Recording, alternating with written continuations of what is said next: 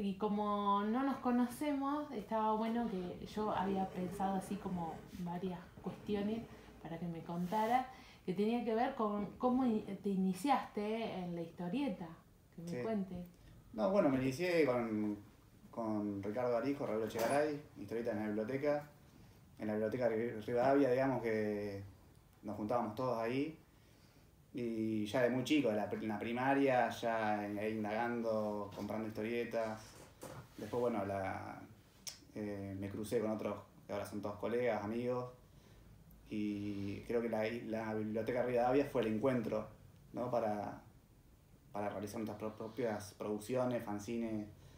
Eh, que por ahí en ese momento era, no es como ahora, tan, la tecnología no estaba tan a la mano y teníamos que ir sí o sí a la biblioteca o a, los puestos de revistas, a comprar historietas. En Tandil no había mucho, mucho mercado tampoco. Entonces fue como un mundo nuevo para, para los jóvenes en, esa época, digamos. Estábamos ahí en la adolescencia. ¿De qué época estamos hablando? Y no me acuerdo bien el año de que empezaron a editar las, las historietas de historietas en la biblioteca, pero y serían 90 y algo, unos 90 y algo, sí. ¿O eras muy chico? Sí, tendríamos 15. Después, bueno, ya de antes de los 12 años, ya 10 años, ya estábamos dibujando.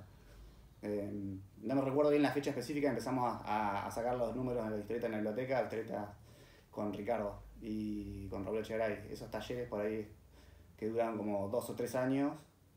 Y mm, después, bueno, con Gurgos también tuvimos como, empezamos a conocer un poco lo, lo nacional, porque era como todo el bombardeo era DC, Marvel, bueno, que ahora ni hablar, pero en ese momento era lo mismo, entras por los superhéroes y después decís, bueno, mira, hay otra cosa acá, no sé, está el Eternauta, que por ahí uno después lo lee y como que te abre otra, otra, otra visión, que hay otras cosas, digamos, parte de eso. Y en función de eso que, que, decís en relación a estas historietas de otros países, ¿qué pasa con lo local? Em, bueno, tu obra tiene que ver con la ciudad. Bueno, ¿cómo, cómo te atravesó a vos en la ciudad de Tandil? Sí, bueno, Niño Jefe, que por ahí lo, lo, último, digamos, que, que, que, saqué, yo, bueno, con, junto con, con Alfredo Retama, que también me ayudó mucho en la edición. Em, nosotros iniciamos con la líder negativo, que era como un fanzine, que se iba, lo íbamos sacando, digamos, cuando se podía que, por ahí, bueno, el líder de ese proyecto era Alfredo, que nos convocaba a todos, que te caía en casa, ¿viste? Y con las hojas decía, hacete esto, con un guion, y entonces como que nos, nos incentivaba a laburar. Y Niño Jefe em, surgió más, yo quería hacer algo más, más propio del barrio, yo, bueno, hace como más de 10 años que vivo en la Movediza, barrio Movediza, y digo, bueno, voy a hacer algo más, más, de, más barrial, con alguna identidad más... Eh, de, lo que es ahí el, barrio, la escuela, bueno, los talleres, lo que hay, todo.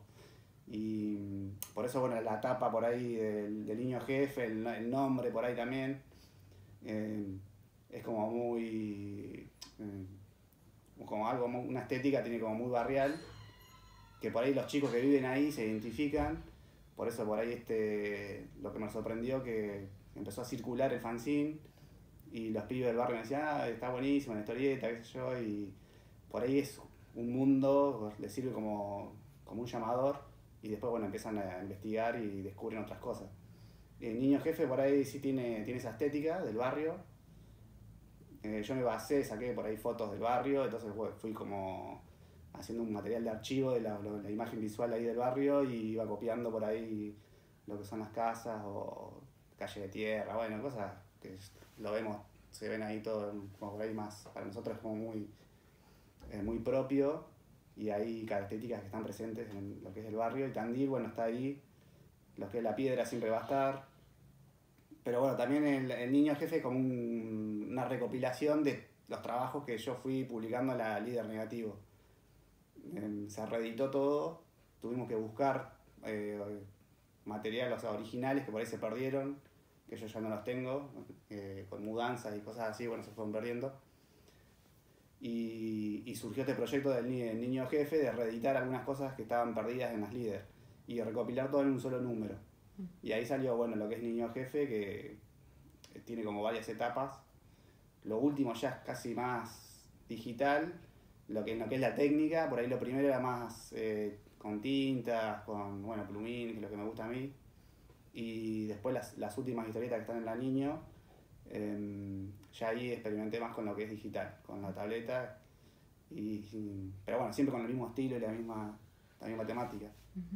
Y en, relación por ahí a otras, este, otras publicaciones ¿sí? que has realizado, eh, también hay presencia de lo barrial, de, tu ciudad, o, buscaste por otros lados? Sí, en, un momento también eh, hice de Beppo Bessi con, bueno, con Gonzalo Orela, que, y bueno, salió en una de las líderes, en las últimas líderes, y siempre por ahí también tengo una etapa como más gauchesca, Tata Dios, también he hecho algo, que está en la en algo de la historieta en la biblioteca, y entonces siempre lo local está.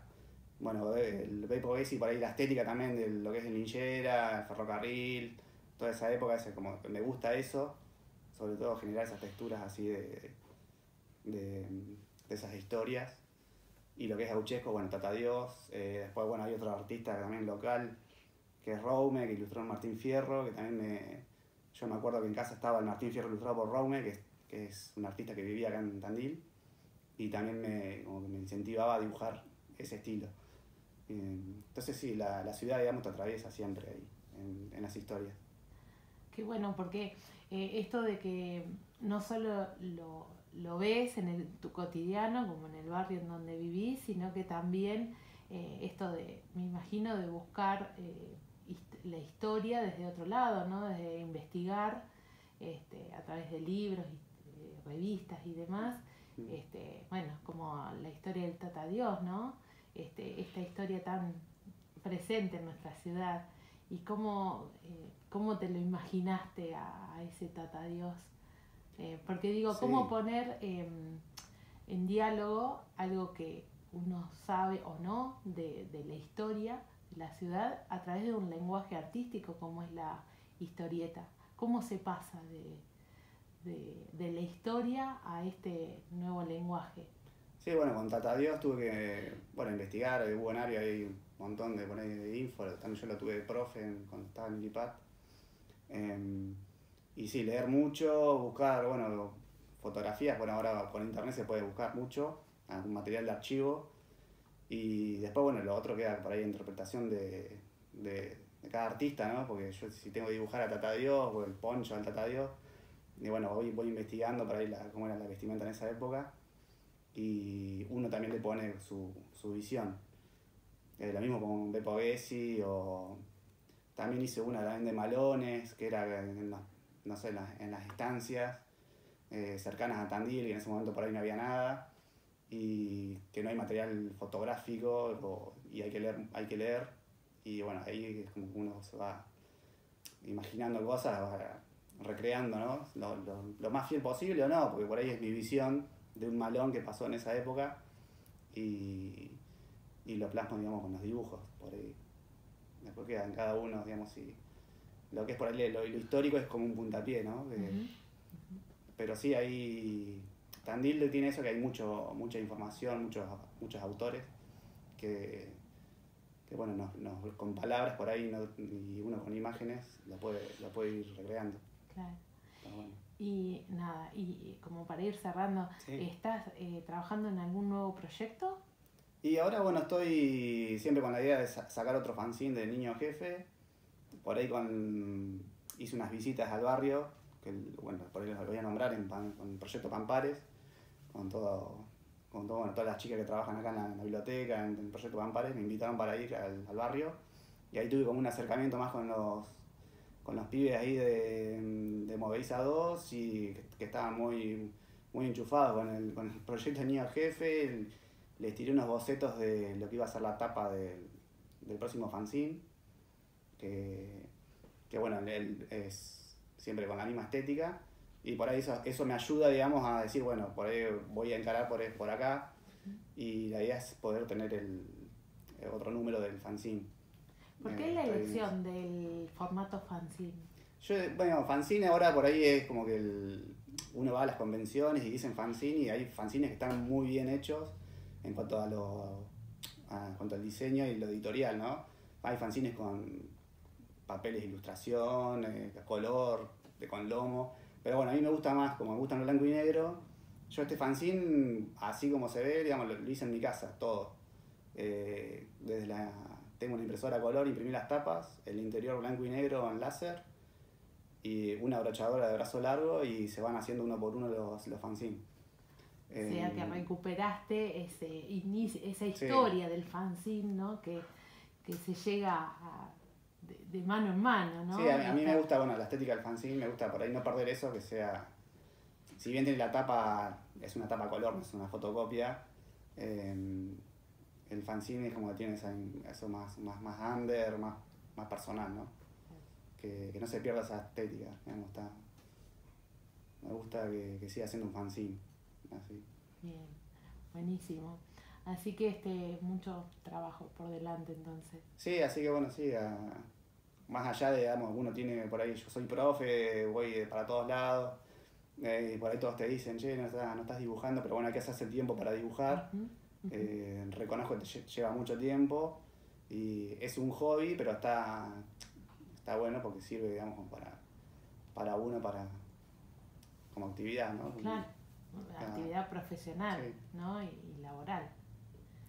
Así que, bueno, y siempre rodeado de compañeros que te incentivan a, laburar. Por eso, bueno, no sé si tu nombre Alfredo, pero él es uno de los, de los que siempre incentiva ¿no? a hacer producciones y, estar ahí en, el, en, la movida de lo que es el, cómic y la historieta.